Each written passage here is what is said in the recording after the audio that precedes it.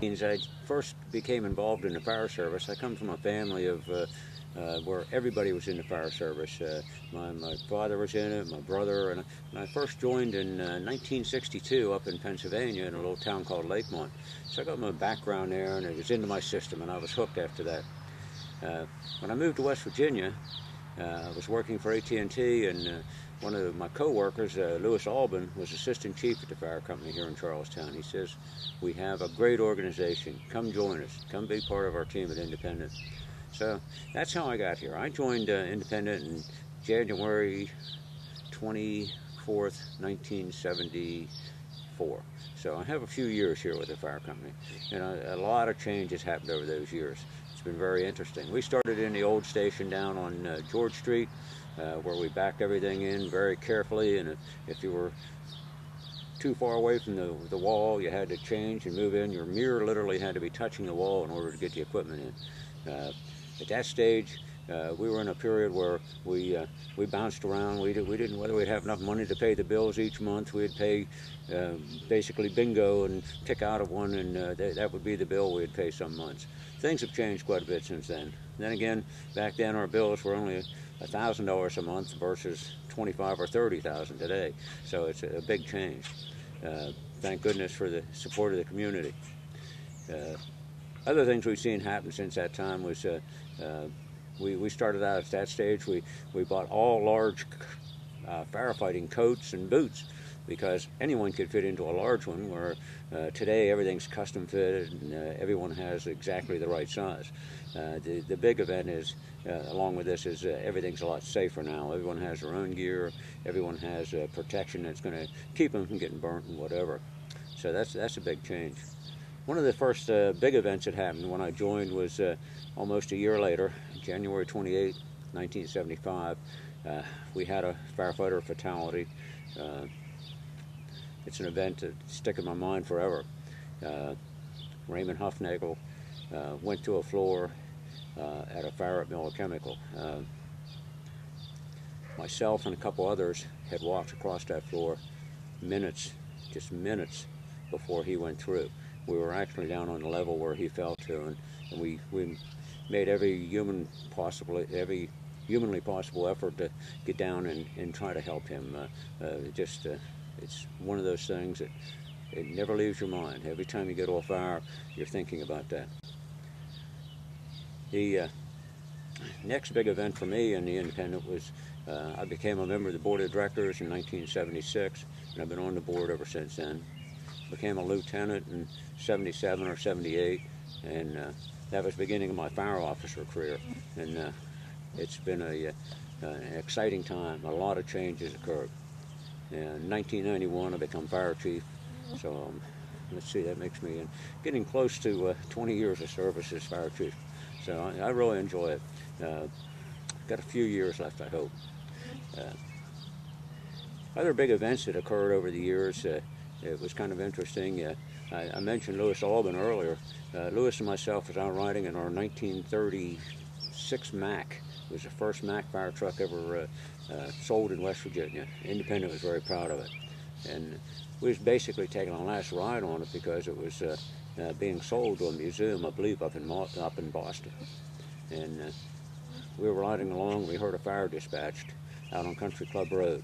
And where were we? About a half mile away. And uh, we pulled that old Mack up and, and started fighting fire to the, the big newer fire trucks got there. So that was a, a great experience. Uh, the last ride, the last run on it. So it was shortly after that it was transported out of Charlestown. Over the years, we've uh, I've seen lots of fire. I've seen a lot of residential fires. I've seen a lot of uh, vehicle fires, field fires, and woods fires. Three fires uh, have stuck out in my mind as being the most significant fires that I've seen in the Charlestown Ranson area. Uh, the first one I mentioned previously was Miller Chemical, and as I said, that's forever. Uh, two more big events that happened was uh, we had a fire out on Harry Shirley Road. It was the old uh, uh, Coppertone plant that was turned into a uh, building that was manufacturing transformers.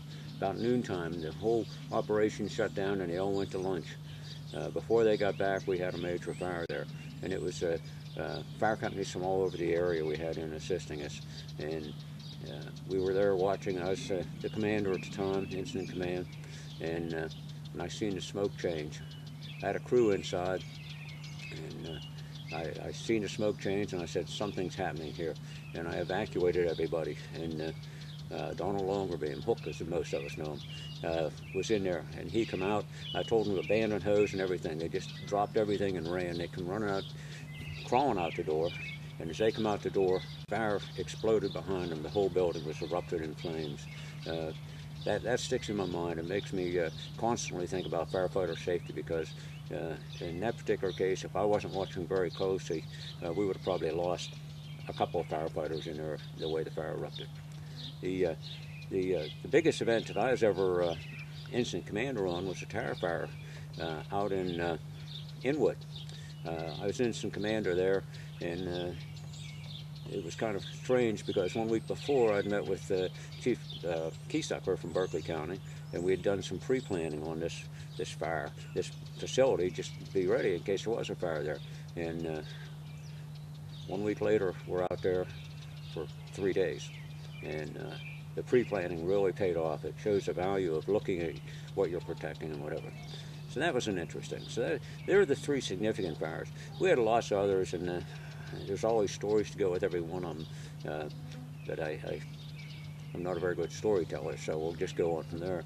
Uh, a couple of things that, another thing that really sticks out in my mind was uh, how uh, some of the uh, other chiefs helped me grow in, in the service. Uh, Lee Morgan from Shepherdstown, what a great guy, very, very dedicated to the community. he gave 100% all the time, and he gave me a lot of advice over the years. And, one of the things that really sticks out in my mind was uh, we were on a fire with uh, Citizens Fire Company, and uh, Buck Willingham was chief, and uh, I was a new lieutenant. And I, I come running into the scene. I'm one of the last units there, and I pull up to the scene driving a tanker, and I see all this smoke.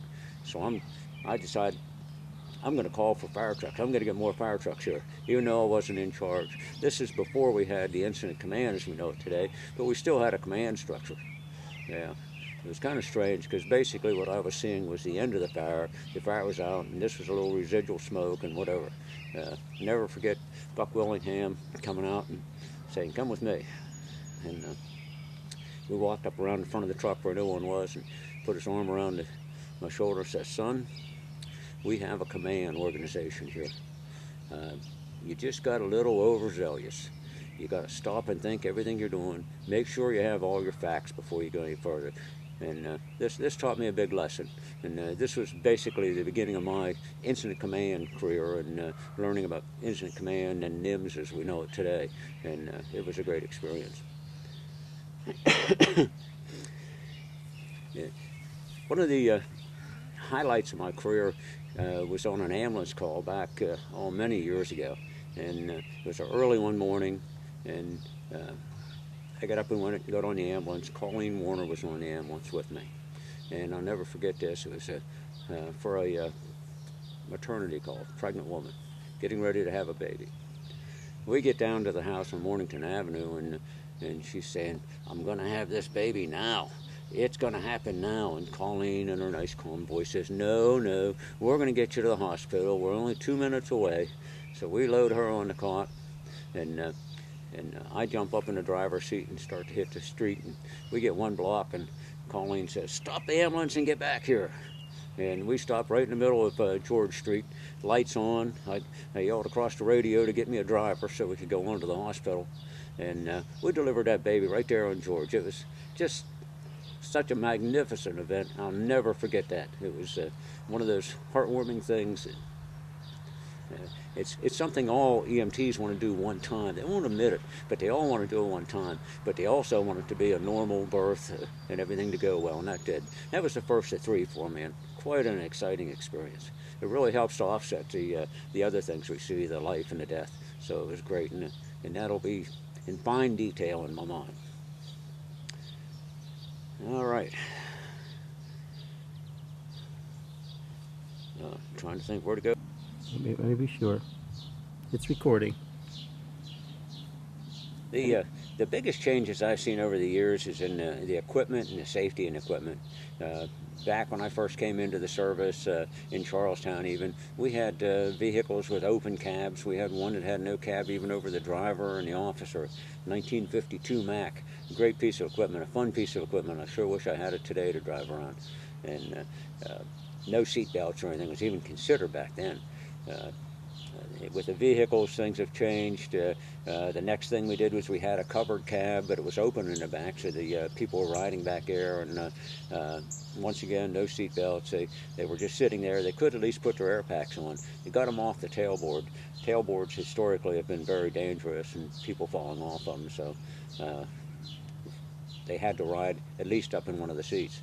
So that was a big change for us it, it's evolved around so many things. Uh, today, the uh, new vehicles they have uh, seat belts, they have warnings that'll tell you exactly which person doesn't have their seat belt on. Big changes. And it's all in the name of safety. Uh, vehicles are even designed today so you can roll them over and the cab will stay intact unless it's a strange circumstance.